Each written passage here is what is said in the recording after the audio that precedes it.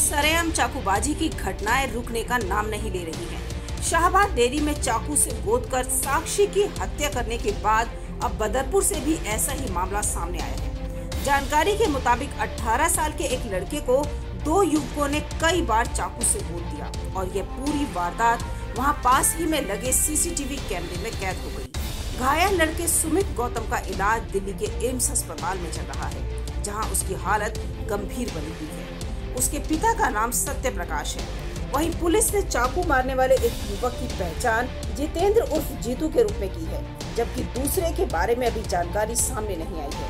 घटना को लेकर बदरपुर पुलिस स्टेशन के एक अधिकारी ने बताया कि शुक्रवार दोपहर करीब दो बजे पुलिस को एक कॉल आई। कॉल करने वाले शख्स ने पुलिस को बताया कि बदरपुर के मोहन बाबा नगर के गली नंबर 9 में एक युवक को चाकू मार दिया गया है। पुलिस मौके पर पहुँची और घायल युवक को अस्पताल पहुँचाया। पूरे मामले की जानकारी देते हुए DCP south east Rajesh Dev ने बताया कि, कि जितेंद्र बदरपुर थाने का घोषित अपराधी है। वही घायल युवक की हालत गंभीर बनी हुई है। इसका इलाज एम्स ट्रामा सेंटर में चल रहा है।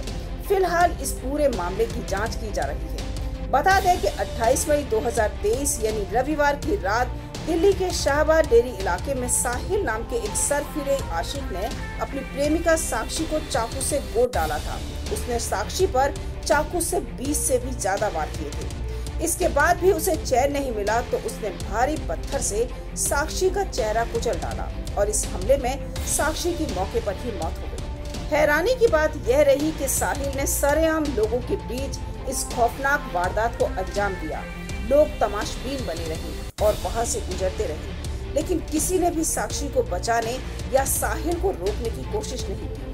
पुलिस ने वारदात के करीब 15 घंटे बाद ही आरोपी साहिल को यूपी के बुलंदशहर से गिरफ़्तार कर लिया। तमाम बड़ी खबरों के लिए बने रहिए किन्नी टाइम्स के साथ। वीडियो को लाइक करें, चैनल को सब्सक्राइब करना ना भूलें।